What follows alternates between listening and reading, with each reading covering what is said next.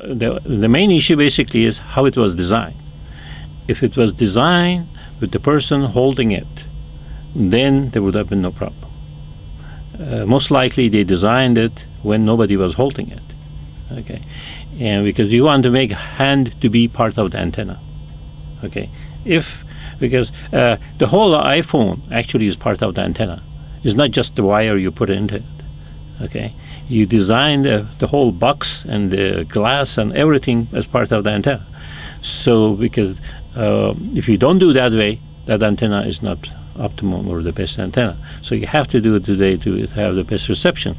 Uh, but I would have said that you add the hand of a person also the part of the antenna so that when he's holding, it has the best reception. Well, if uh, I were to do it, first I test it under different conditions and see when it fails and why it fails, and uh, do slight modifications so that rather than failing it, actually uh, to receive more signal rather than receiving less signal. Because if if that antenna, particular antenna, is uh, failing, it means interacting with the body, with the hand of a person, and but the interaction is detrimental. You can just use that one to advantage. Uh, so you don't need to make a big change in the design. You just make an uh, interaction of the hand with the antenna to actually improve, to, to, work together rather than against each other. Right now they are working against each other. I don't know. You heard about the problem they had with the Hubble telescope, right? When the, the, the they designed the mirrors in the first place, uh, it was perfect.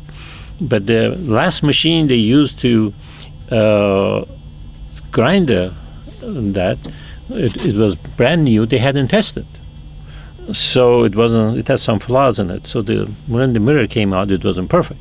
When they sent it up without testing suddenly all the stars were fuzzy. Okay? So what they did they they, uh, they built another um, lens and the space shuttle took there and put it in front of it. So took that fuzzy picture and made a perfect picture. So the same thing here. I mean uh, so the hand is there. It's working against it so you just design a way that just like uh, that additional lens there. So when you put it there, it will look like a lens. So improve the reception of the iPhone. Now, where the software can help is that to adapt it, you see, so that uh, it can look and see if the hand is causing the problem, and then uh, make some internal change in the circuits so that it adapts. That can be done. So you have an adaptive circuit inside the antenna.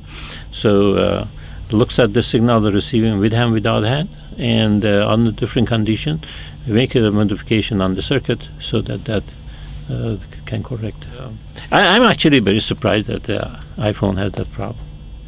You see, somebody didn't think about just like uh, you know. I mean, it costs more than a billion dollars to build a, a Hubble telescope, but they didn't do final testing before they launched it.